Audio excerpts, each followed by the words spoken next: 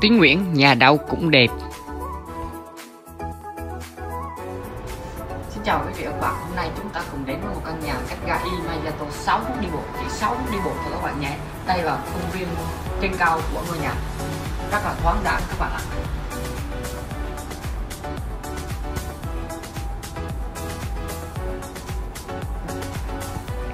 Đây, tiếp theo là chúng ta cùng vào ngôi nhà này đây là căn nhà của chúng ta căn nhà giá trị 4 phần 3 đã bao nước. Và căn nhà có diện tích rộng khoảng 23 mét vuông.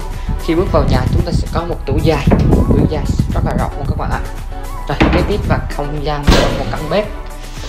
Bếp ở dưới thì đã có một cái tủ lạnh và một cái tủ đựng bát đũa. Trên này cũng có thể đựng gia vị và bát đũa nữa các bạn ạ. Rồi kế tiếp nữa.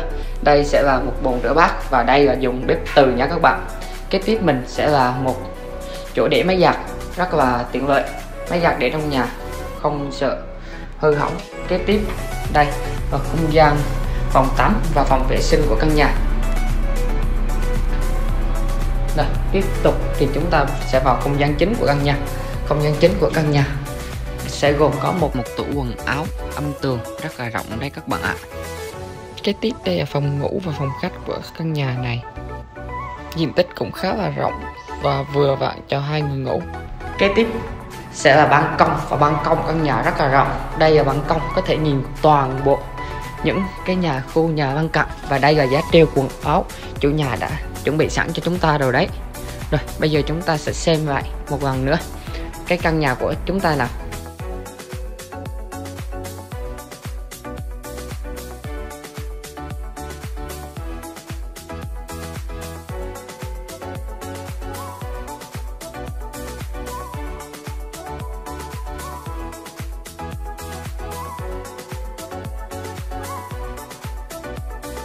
Cuối cùng, xin cảm ơn mọi người đã xem video và hẹn gặp lại mọi người ở căn nhà này nhé.